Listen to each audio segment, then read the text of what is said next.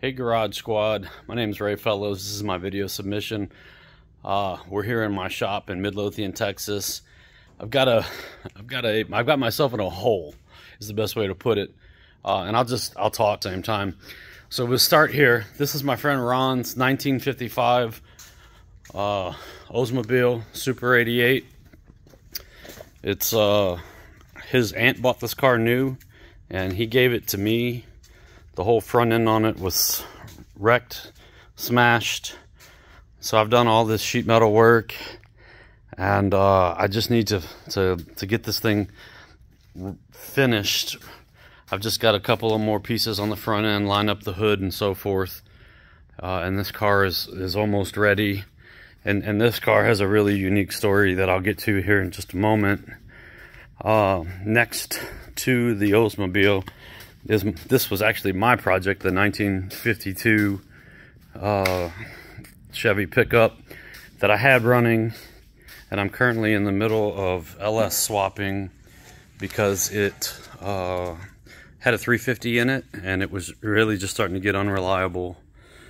So I'm I'm in work on this this truck right now. Also, uh, this was my my first paint job so this truck is in work and it's and it's and it's on its way. Uh, we'll get back to the Lincoln here. This is my uncle's 65 Plymouth Fury. Um, he gave me this car quite a few years back and uh, I've gotten a lot of it done uh, but it still needs it needs some attention it's been sitting for a while this was my great grandfather's 1957 uh, Bel Air he gave it to my grandmother. She gave it to me. Uh, and you can see it's it's come a long way, but still has a good way to go. Uh, and then finally is the 62 Lincoln Continental, which is completely bone stock original. Uh, my buddy Ron that gave me the Oldsmobile gave me this car, uh, but and that's kind of where I'm at. The top doesn't work. Uh, it, uh, it, he was he had it on jack stands doing about to pull the fuel tank. So i'm not really sure on this car. I just really got it maybe two weeks ago. So my buddy ron is 82 years old. I've known him for 20 years. And uh, he gave me this this this oldsmobile here and told me that i owed him a ride in it when i got it finished. Uh, real quick there's the hood up there. You can see where it was hit in 1986 in a Super 8 motel parking lot, and uh, it's been sitting ever since. So Ron gave me the car, and he told me that uh, I owed him a ride in it. Well, about three weeks ago, he he died from cancer. Uh, he was, and I said he was 82, and, and I haven't finished the car yet. And uh, his daughter gave me his Lincoln Continental also. So he is going to, they're going to do services. He's been cremated and they're going to do services for him in November when it cools down. He's in New Orleans, Louisiana. I'm in Midlothian, Texas.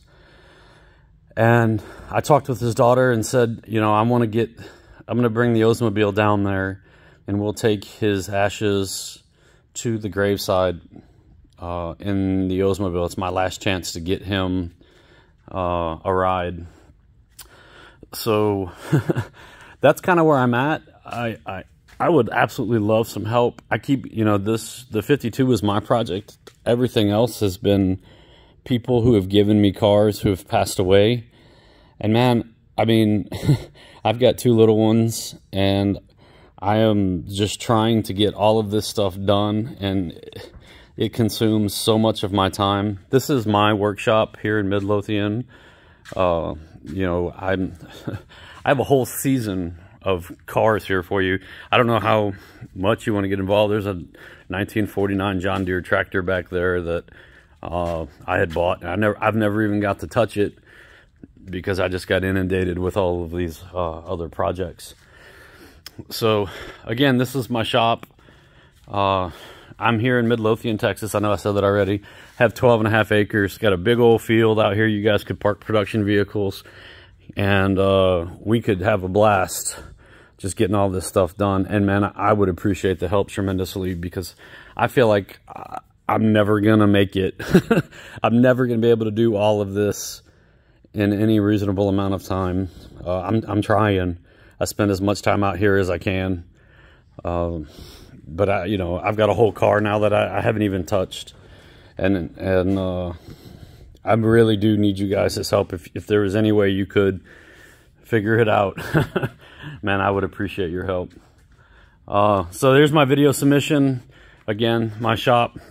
It's uh, it's kind of a mess because I don't get to clean up. I just come in here, I work, and then uh, I leave, right? And I guess that's the nice thing about the shop is you could just close the door and forget all about it, and then come back and start again, and you know. But anyway, uh, I would appreciate if you guys could help me. Thanks a lot. Bye.